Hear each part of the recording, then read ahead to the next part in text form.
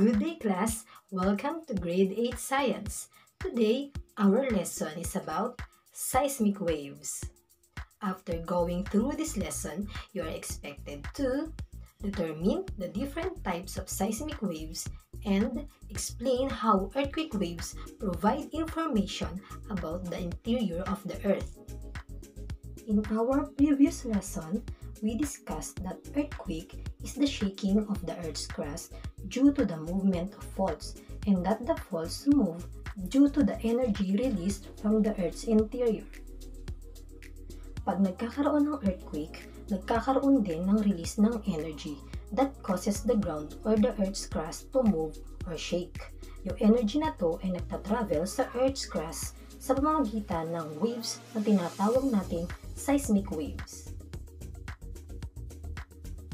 Kapag lumilindol, nagkakaroon ng paggalaw o shifting sa mga rock layers na nagpo-produce ng vibrations na siyang tinatawag na seismic waves. Seismic waves can travel within the earth or along its surface, meaning kaya niyang maglakbay um, sa interior ng earth or po pwedeng sa surface lang or sa ibabaw. Ang mga tao na nag-aaral tungkol sa lindol ay tinatawag na seismologist at ang pag-aaral naman tungkol sa mga lindol ay tinatawag na seismology.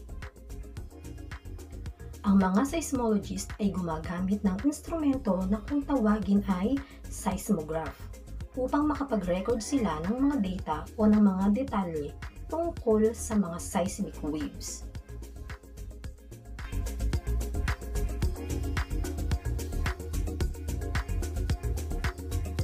This is how a seismograph works. When there's an earthquake, the seismic waves are detected by the seismograph. The seismograph yields information that can help seismologists and also scientists not only about the earthquake behavior but also about the structure of the earth itself.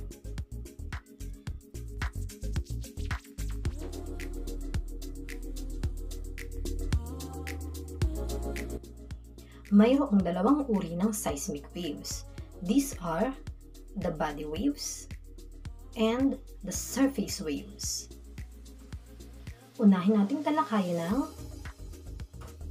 body waves. Body waves can travel within the earth. So, ibig sabihin, kaya nitong maglakbay hanggang sa interior o sa pinakaloob ng mundo. Mayroong dalawang klase ng body waves ang P waves o ang primary waves at ang S wave o ang secondary waves. Primary waves or P waves. They are called primary waves because they are the first type of wave to arrive or first to be detected at seismic recording stations. These waves are also the fastest seismic waves That's the reason kung bakit ito yung waves na unang nadedetect ng seismograph. The primary waves can travel through solids and liquids. The primary waves compress and expands and move back and forth in the direction of the travel of the wave. Secondary waves or S waves.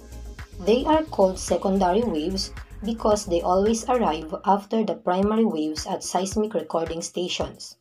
This kind of seismic waves shake or move the ground in shearing or transverse motion, that is, perpendicular to the direction of the travel of the waves. These are waves that move the ground up and down or from side to side, and also these waves can travel only on solid materials. Now, let's discuss surface waves. So, pagkatapos mag-travel ng primary waves at the secondary waves within the Earth, they are followed by the surface waves that travel along the surface of the Earth. So kaya nga siya tinawag na surface waves kasi nangyayari lang to o nag-o-occur lang siya sa surface o sa ibabaw ng mundo. Surface waves can travel only along solid materials. They are slower or mas mabagal kaysa sa primary waves and secondary waves, but they are much larger, therefore mas destructive at mas dangerous. Mayroon ding dalawang klase ng surface waves, ang love waves at ang Rayleigh waves. Love waves have horizontal motion that moves the surface of the earth from side to side perpendicular to the direction of the wave.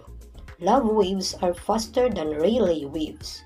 These waves are named after Augustus Edward Howe Love, a British mathematician who worked out the mathematical model for this wave.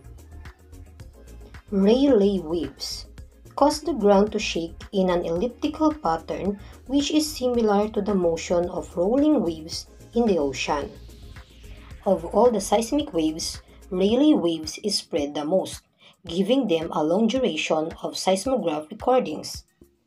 Rayleigh waves are named after John William Strutt, Lord Rayleigh, a British scientist who predicted the existence of this wave. Lagi nating iniisip na ang pagkakaroon ng lindol ay mapanganib at mapanira. Pero kung ating pag-iisipan, it is somehow useful din. So, paano kaya ito nakakatulong?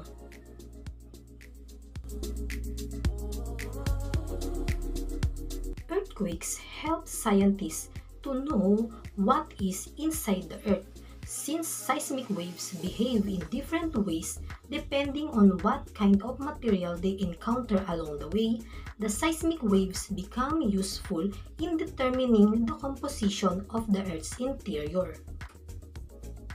For instance, primary waves and secondary waves are used by the seismologists.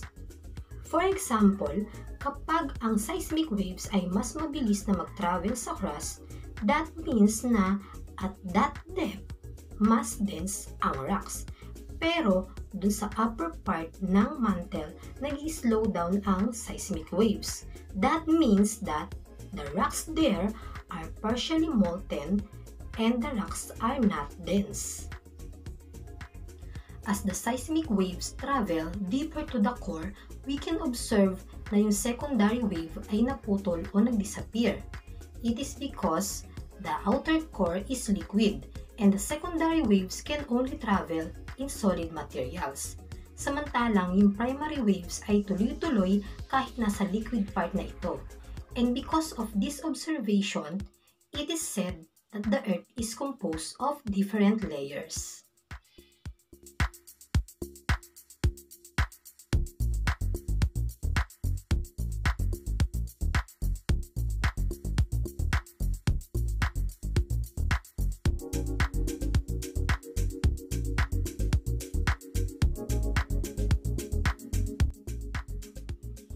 And that's all for now. See you on our next lesson.